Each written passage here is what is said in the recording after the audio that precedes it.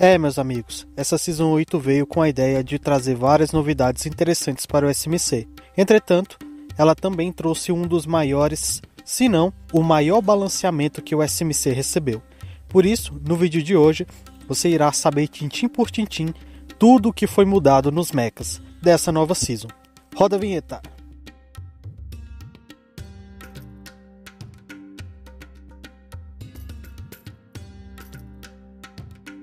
Vamos começar com os mechas que foram nerfados, ou seja, que tiveram seu desempenho em batalha piorados. Mas antes, pilotos de Gabriel, meus sinceros pêsames para vocês, porque nessa season vocês vão sofrer, viu? Digo isso porque o que o Gabriel recebeu de nerf não tá no gibi. O Gabriel recebeu 4 nerfs, sendo que todos eles foram em áreas em que eles se destacavam. A primeira coisa que nerfaram nele foi seu tempo de recarregamento. Agora, seu canhão de mão demora 2,6 segundos para recarregar completamente. Um número bem maior se comparado aos antigos 2.3. Ufa! Pelo menos não nerfaram a arma secundária. Se foi isso que você pensou, desculpe te decepcionar, mas eles nerfaram o modo sniper dele também. Pois é, eles também aumentaram o tempo de recarregamento do fuzil de precisão dele, de 2.5 segundos para 2.7 segundos. Isso pode parecer pouco, mas acredite, esse número vai fazer uma diferença lá na frente. Como se não fosse suficiente, eles também reduziram o dano dele. Então agora, quando você utilizá-lo contra o mecha, ao invés dele causar 790 de dano, ele vai causar 760, ou seja, 30 de dano a menos. É claro que isso também vale para pilotos, que agora receberão 155 de dano, um número claramente menor do que os antigos 152. Viram? Eu avisei que não ia ficar fácil para vocês que pilotam Gabriel. Então aqui vai meu sincero F para o Gabriel.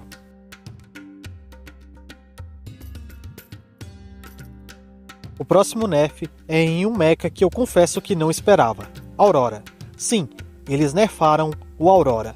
Ao invés de o buffarem, eles resolveram nerfá-lo. Isso não faz nenhum sentido para mim. Basicamente, sua arma primária teve o dano contra mecha diminuído de 204 para 193. Já o dano contra pilotos foi diminuído de 40 para 38. Ao meu ver, esse foi um nerf totalmente desnecessário. Mas ok, né? Próximo nerf nessa extensa lista de nerfs é claro o Doomlight, que por sinal levou um nerf mais do que merecido. Aliás, deveriam ter um nerfado mais, falo mesmo. Diferente dos que citei anteriormente, eles não mexeram no dano em si, mas sim no alcance. Agora, o alcance de ataque das torres foi bastante reduzido.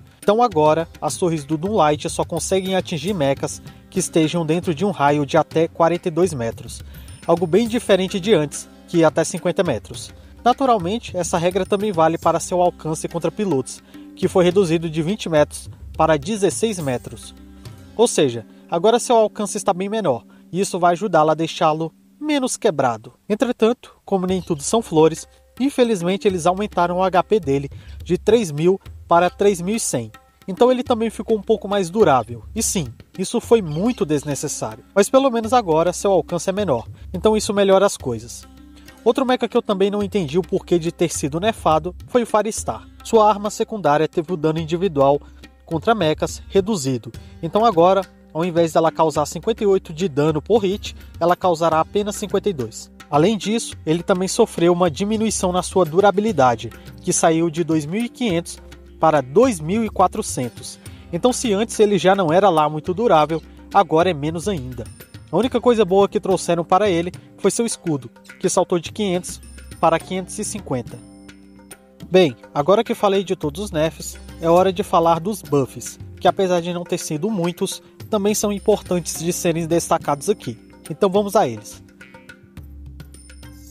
O primeiro felizardo dessa lista é um cara que certamente não merecia ter sido bufado, o Caramel. Sua arma primária teve seu dano contra mechas aumentado de 215 para 220. Não satisfeitos, eles também melhoraram sua durabilidade, que então passou de 2850 para 2900. Eles também aumentaram a velocidade de movimento dos pulos, de 5.6 metros por segundo para 5.9 metros por segundo, então agora ele está pulando muito mais rápido do que antes. Mas como citei, o Caramel não merecia esses buffs, pois ele já é um mecha muito forte. Mas pelo menos não bufaram a forma tank dele. então não acho que essas mudanças irão deixá-lo quebrado nem nada do tipo. O próximo mecha que foi bufado foi o Arthur, mas dessa vez não mudaram muita coisa. Basicamente, eles só aumentaram o dano da arma primária dele de 224 para 240. Um buffzinho bem modesto, mas que vai ajudar a torná-lo ainda melhor. Então, se você gosta de usar o Arthur, considere-se satisfeito, porque agora ele está mais forte ainda. Outro que também recebeu um buff menor foi o Ventorus, só que no caso dele foi apenas na durabilidade, que foi de 2500 para 2600. Sim, um aumento de apenas 100, mas que certamente irá ajudá-la a sobreviver um pouco mais.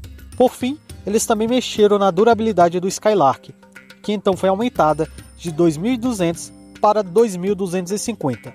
Mas é isso, pessoal. Esses foram todos os nerfs e buffs que os mechas sofreram nessa nova season. Mas agora é com vocês. O que vocês acharam dessas mudanças? Eu particularmente gostei da maioria delas. Claro, não todas, porque tiveram algumas que me pareceram meio estranhas. Mas no geral, eu acho que foi um bom balanceamento.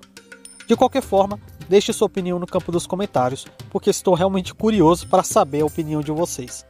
No mais, se você gostou do vídeo, peço por gentileza que clique em gostei para dar aquela força na divulgação. E se for novo por aqui e quiser mais vídeos de SMC ou outros jogos mobile, te convido a se inscrever no canal e ativar o sininho de notificações para ser avisado sempre que eu lançar vídeos novos, beleza? Te espero no próximo vídeo. Abraço e tchau!